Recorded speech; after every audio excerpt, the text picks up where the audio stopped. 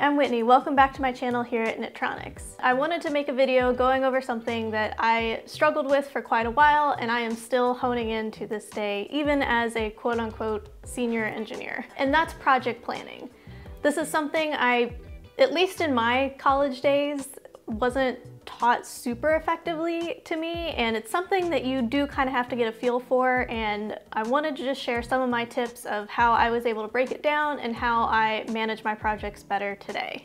Now I'll be breaking this down into specific project architecture as far as just the main steps I take on a project, not necessarily looking at a specific project. So the first thing I want to go over is how I plan the higher level milestones of a project as a whole. And the way I found that's the most helpful to break that down is to first think of your topic or your objective. What do you want to accomplish with this project? What's the end goal? What overall are you going to be delivering? Is it, oh, I want to write a blog post about some FPGA board I've never used? Is it, oh, I, hey, I want to design a game board or anything you can think of. And in that phase of when you're picking your project and picking your objective, this is also a time where you want to start doing a little bit of background research of how feasible is it? Um, you don't want to go too far down the rabbit hole and then find, oh, this was never possible to begin with. So for instance, you don't want to pick an objective with technology or components that simply aren't going to work and isn't feasible. I've made this mistake several times these are all types of things you need to do in your initial discovery, for lack of a better term, uh, in planning your objective. Because there's no point in spending a bunch of time starting a project when you could have spent a few hours on the front end and determined that it wasn't gonna work at all. Of course, there are exceptions. Sometimes you do get all the way down, you can't all the way down the path and some roadblock comes up that you never could have foreseen. That does still happen. However, you can mitigate a lot of that up front in your initial discovery for planning your project topic or objective. The second thing you want to do after you've chosen your topic and determined that your objective is feasible for your project is go through and determine a all-encompassing list of materials that you'll need or bill of materials for the project. Go down and write down everything you can think of. Uh, I'm gonna need this FPGA board, which means I'm gonna need this type of USB cable and this type of SD card and I'll need X number of components, say resistors, these values, or even if you don't know specific values, at least start listing out everything you can think of off the top of your head. Once you start making this bill of materials, if it includes something like maybe a board that you've never used before, uh, I highly recommend getting a hold of it and just getting yourself familiar with it because a big thing with picking out your bill of materials that's going to impact you later on is a, knowing everything you need. B, do you know how to use everything that's on your bill of materials? If not, how long do you think it's gonna take you to learn it? Is it something that's a close derivative to knowledge that you already have, or is it something totally new to you? Because that's gonna be that's going to have to be something you have to take into account for your schedule. Also, is your bill of materials within your budget? Can you even afford it? If you're coming at this from a hobby perspective, you may need to spend some time looking for more affordable alternatives or potentially even making alternatives yourself, which overall is going to push the delivery date or end goal further out in the schedule. Once you've determined your bill of materials, you have everything procured or at least a plan for procurement along with knowing how long it's gonna take to be delivered, aka lead times, uh, when it's gonna show up. Uh, the next thing you're gonna move into and Arguably, the most important thing after determining feasibility is prototyping. This is a step that unfortunately I, for some reason, think that I can skip to save time and it comes back to bite me every single time because even though I've done my due diligence up front and planned the most feasible project I can up front, I've gone through and picked the most optimized materials on my list, things I know how to use. There's still sometimes when you go from paper to practical application, things just don't go together the way you think they're going to. You're going to have to make subtle changes on the fly. They're not project ending, but there are gonna be pivots. and that is one important thing you do have to learn as an engineer is how to pivot when you get stuck.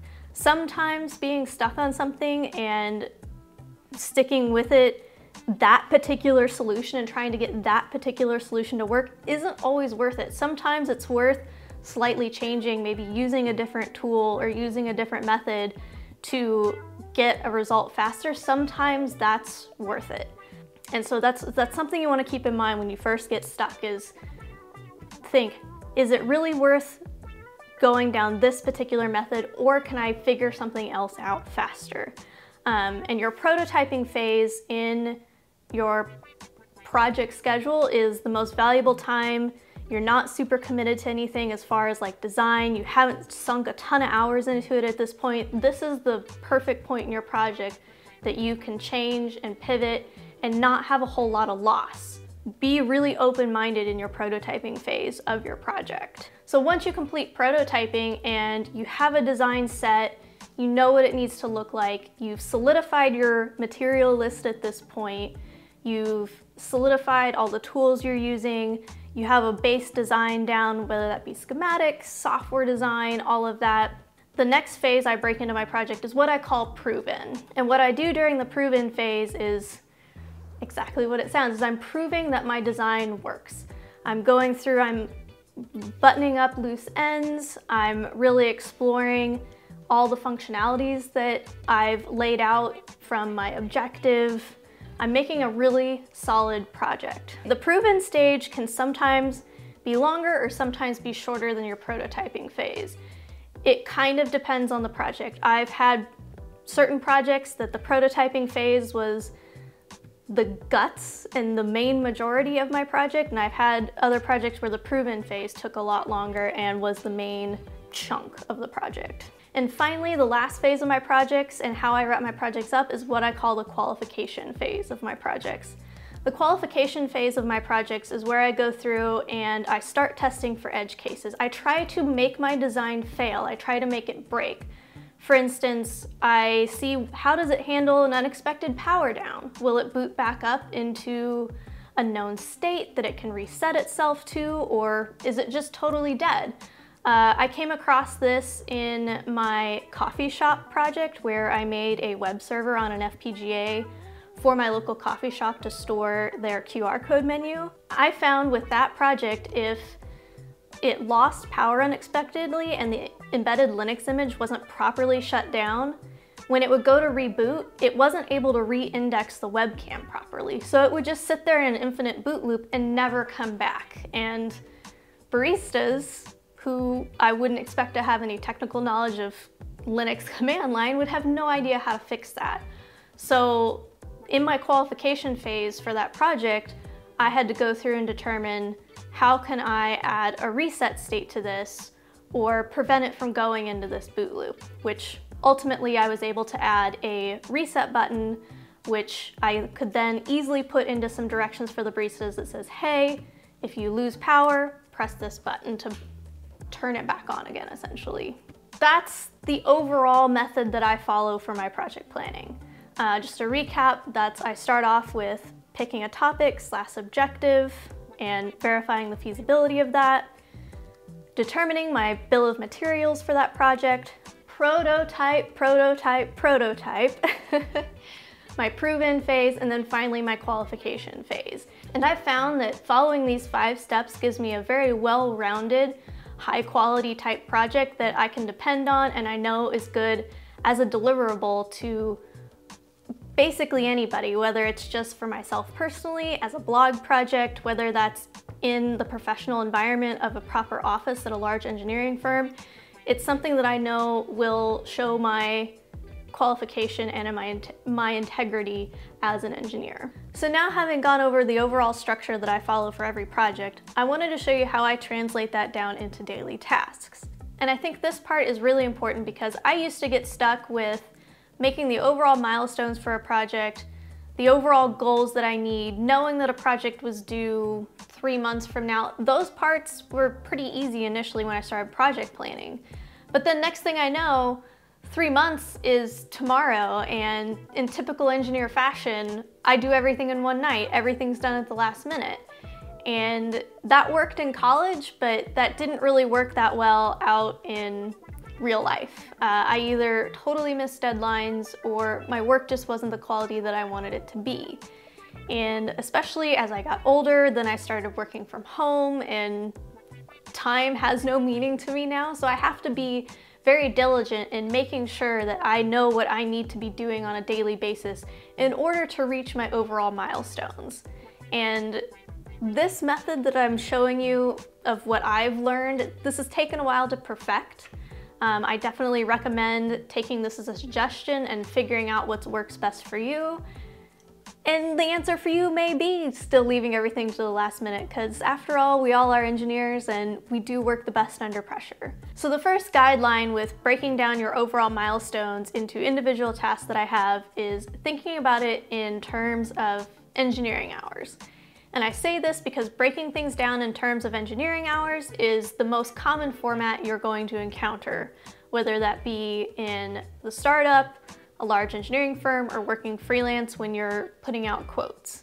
And the first thing to think of is that there are eight hours in a day, 40 hours in a week, and 160 hours in a month. Those are your working hours that you have in that amount of time. And furthermore, those are the number of working hours if you work 100% full focus all the time, which we know isn't gonna happen. So if I slot something for eight solid hours, that doesn't mean necessarily that it's going to be done in a single calendar day. Especially if you're juggling multiple projects, which I know just about everywhere I've gone, I've had to juggle multiple projects. So when I would slate something for eight hours, I'd be like, oh, I have that done in a day. That'll be done tomorrow and always forgetting that I have three other projects to worry about and I'm not gonna spend eight hours on that one project in a day. So when you're planning engineering hours, keep in mind that the number of hours that you plan aren't all gonna happen consecutively over a single calendar day or week or month. So even though I might slate 40 hours worth of work for something, that sounds like a lot. That said, that's a whole week.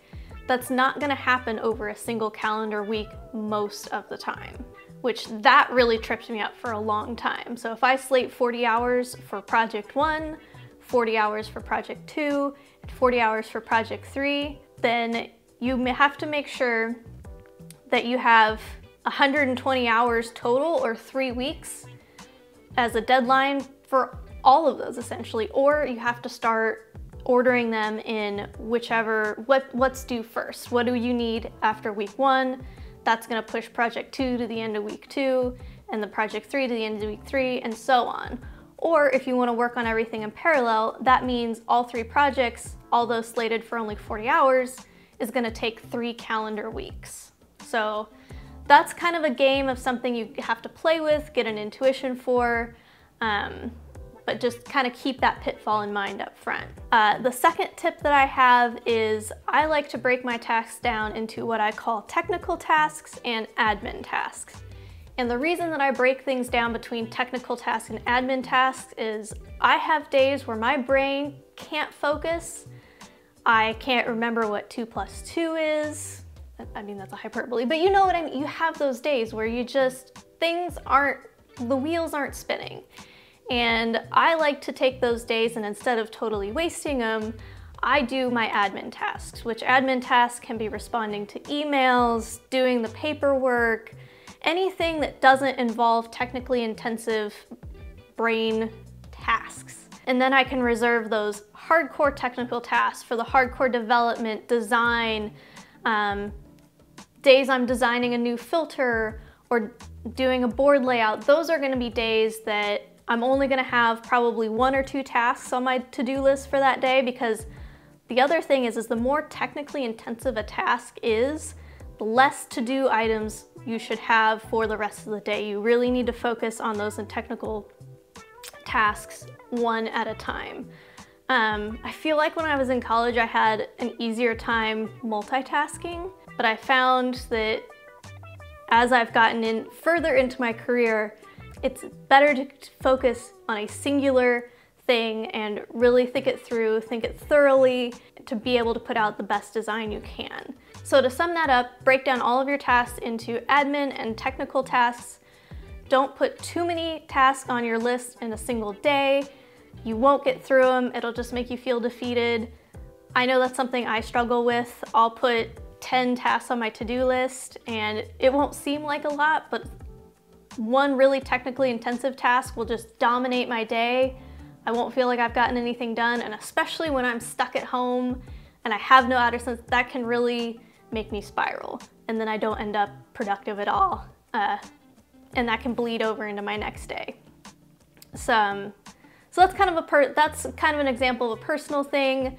Um, balancing the number of tasks you have on a day is something you'll kind of have to get used to for yourself. What's the best workload for you? I, some people thrive under more pressure.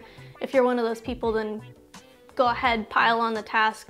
Get a, just be honest with yourself and get a feel for what are you actually retroactively getting done? How much are you achieving? Which is my next tip is if you don't get anything done on your specific to-do list or you don't get specific tasks done, go back and write in what did you do that day? What tasks did you complete? And that way you can start to, as you're kind of getting better at your project planning, kind of honing in uh, how you work specifically, you can kind of see, well, I planned 10 tasks for this day, but I actually only got four done.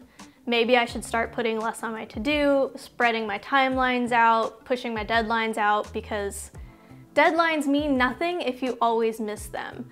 Uh, something that I have learned is even if it's really hard up front to tell management or tell somebody that something's gonna take longer than it should, it is much better to give them that expectation up front rather than to just go ahead and promise them the earlier due date and completely miss it.